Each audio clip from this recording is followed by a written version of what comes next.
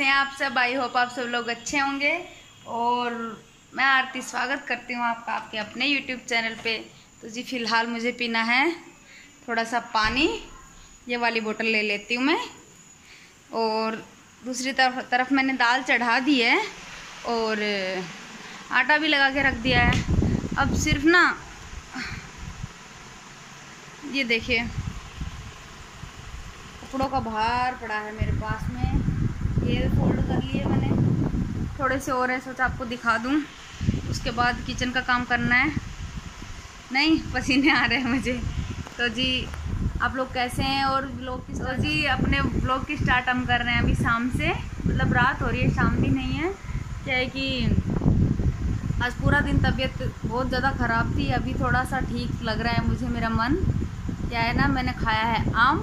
आम के बाद आगे मुझमें एनर्जी तो अब मैं काम करने लग जाती हूँ, ठीक है? और कपड़े मैंने आधे समेट दिए हैं, देखिए। और आधे इधर पड़े हैं काफ़ी। आधे से ज़्यादा पड़े हैं, वो भी समेटने हैं। और इसके अलावा दाल चढ़ा दी मैंने, आटा लगा दिया मैंने। मैंने सोचा किचन में आपको भी लेके जाऊँगी, गर्मी लगेगी, छोड़ो। नहीं, थोड़ी देर में चलना तो है ही। खाना भी तो वहीं जाके बनेगा, नहीं? तो जी, हमारे ब्लॉग की स्टार्ट हम से कर रहे हैं। और अगर चैनल पर नए आए हैं और पुराने भी हैं तो खाली वीडियोस देख के चले जाते हैं तो प्लीज़ सब्सक्राइब करिए, ठीक है? जिससे कि मुझे थोड़ा सा अच्छा लगेगा और आने वाले जो वीडियोज़ हैं वो सीधे आपके पास पहुँचेंगे। नहीं, कोई आपको सर्च करके जाना नहीं पड़ेगा, सीधे आपके पास नोटिफिकेशन पहुँच जाएगा। तो प्लीज़ सब्सक्राइब कर दीजिए और इसके अलावा वो जो, क्या बोलते हैं उसको कमेंट करके बताइएगा कि आपको वीडियो कैसा लगा और लाइक ज़रूर से करना, ठीक है? मैं पानी पी लूँ थोड़ा सा? गर्मी में ठंडा पानी पीने का मज़ा ही रहा है। और पता है, जब सर्दियाँ आती हैं ना तो मैं धूप को बहुत मिस करती हूँ। आपके साथ भी यही होता होगा ना, कि भगवान, इन सर्दियों से अच्छी तो गर्मी है, लेकिन जैसे ये गर्मियाँ आती है ना तो मुझे सर्दियों की बहुत ज़्यादा याद आती है। और इस टाइम पे तो बहुत ज़्यादा आ रही है। इतनी गर्मी, भगवान, इतना उमस, कल इतना अच्छा मौसम था, आज फिर से उमस कर दिया। बारिश आएगी पक्का, क्योंकि जब उमस होता है तो बारिश आने की पूरी संभावना रहती है, नहीं तो चलिए मैं करती हूँ कपड़े फोल्ड फिर आपसे मिलती हूँ ओके यशु यशु। अरे अभी अभी तो आप जग रहे थे। मम्मा साथ बात कर रहे थे। Good morning good morning quote लिए गंदे बच्चे। जूठी मोटी सो रहे हो। सोना है क्या? आपको नींद आ रही है। यशु, पापा की टी शर्ट से ओढ़ के सोएगी।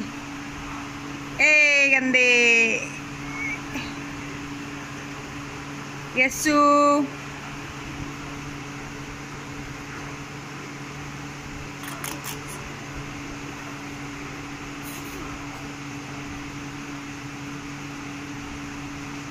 आ जाओ। आओ, चाचा पास सुलाया हूँ।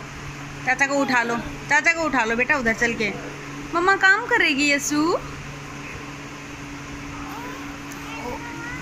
हाँ? क्या है? ये, चुपता है? यस्सू को तो भाई कपड़े बहुत चुभते हैं। बहुत कपड़े चुभते हैं। चलो, आ जाओ। आ जाओ, मेरे बेबी छोटा। हाँ। आज गोदी ले आज गोदी ले लो। अच्छा हाँ बेटा। हाँ मेरा बच्चा। कौन देखेगा कार्टून क्या देखेगी? खाना नहीं खाना? हाँ तो पहले खाना खा।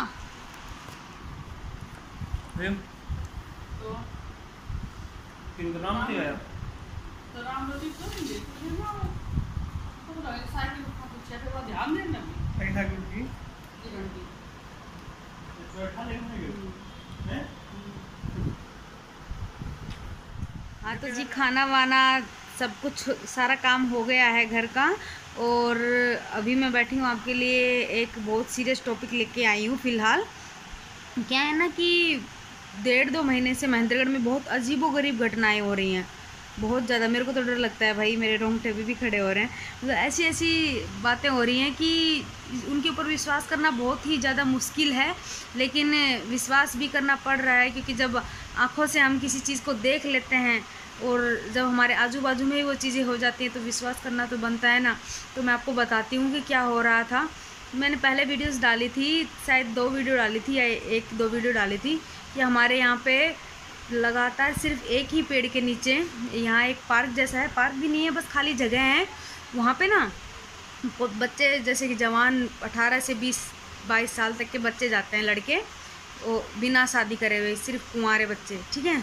और क्या होता है कि सुबह सुबह दौड़ते हैं ना, दौड़ने के बाद थक जाता है इंसान तो कहीं ना कहीं बैठता है ही है बैठता है ना?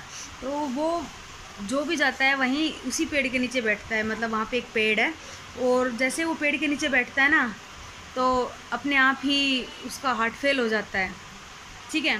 रिपोर्ट में जो डॉक्टर के पास लेके जाते हैं ना, जब उस मतलब ये दुनिया छोड़ के चला जाता है वो लड़का तो डॉक्टर ये कहते हैं कि इसको हार्ट फेल हुआ है। अब बताइए, जवान उम्र में हार्ट फेल हो रहे हैं ऐसे, एक नहीं, पूरे सात सात सोच के देखिए, सात लड़के, जवान, उस पेड़ के नीचे जा चुके हैं। और मतलब ये बात आनी जानी हो गई थी, एक डेढ़ महीना हो गया इन बातों को। अभी मुझे एक नई बात पता चली। परसों मतलब परसों शाम की बात है। मुझे आज ही पता चली है ये बात, इसलिए मैंने सोचा आप लोगों के साथ शेयर करूँ। क्या सच में ऐसा हो सकता है कि ये सब यहाँ पे हो रहा है। इतनी इस बात का मैं आपको बता सकती हूँ कि यहाँ पे हो रहा है और पक्का ये सब इसमें ना झूठ तो कोई नहीं बोलने वाला क्योंकि जिस जिस घर से इंसान चले गए जवान जवान बच्चे चले गए उनके घर में तो समझ लो कुछ अंधेरा ही हो गया कुछ बचा ही नहीं नहीं? बताओ तो ये झूठ तो नहीं है ये बात। और एक तो हमारे ये मोहल्ले के पास में लड़का चला गया मम्मी जहाँ से दूध लेके आती थी उनके पड़ोस में ही था। इसलिए मुझे पक्का वो है कि हाँ झूठ तो नहीं कहता कोई भी। कोई ना कोई तो दिक्कत है उधर।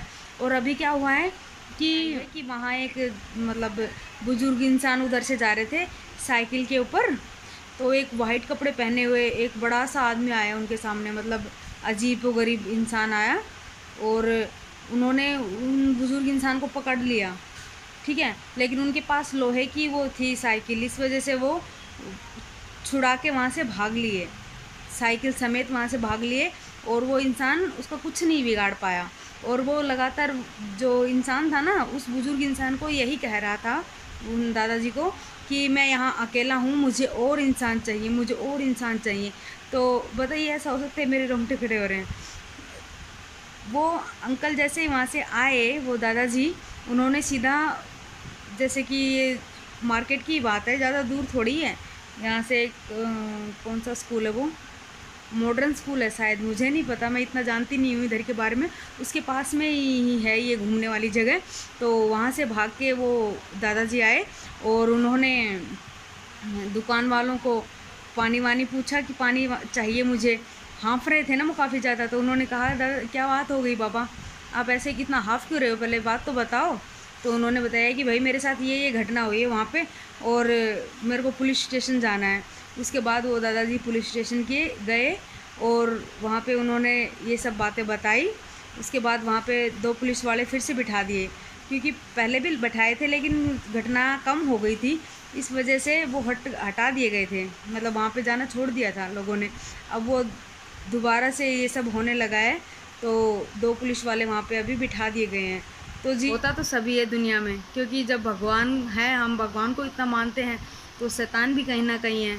लेकिन अगर हम भगवान को मान रहे हैं तो जीत तो भाई भगवान की होगी, ठीक है? तो जी, अगर आपको ये ब्लॉग अच्छा लगा है तो प्लीज़ लाइक कर दीजिए इस वीडियो को, और कमेंट करके बताना कि आप भी क्या ऐसी बातों पे विश्वास रखते हैं, ऐसा होता है। क्योंकि भाई मैं तो विश्वास करती हूँ और यहाँ पे मैंने देखा है तो मेरा विश्वास दुगुना हो गया कि हाँ गलत चीज़ें नेगेटिव चीज़ें भी होती हैं पॉजिटिव चीज़ों के साथ में, ठीक है? और चैनल पे नए आए हैं या फिर पुराने भी हैं और सब्सक्राइब नहीं किया है तो प्लीज़ सब्सक्राइब कर दीजिए। हम मिलते हैं एक नेक्स्ट ब्लॉग के अंदर। तब तक बाय बाय टेक केयर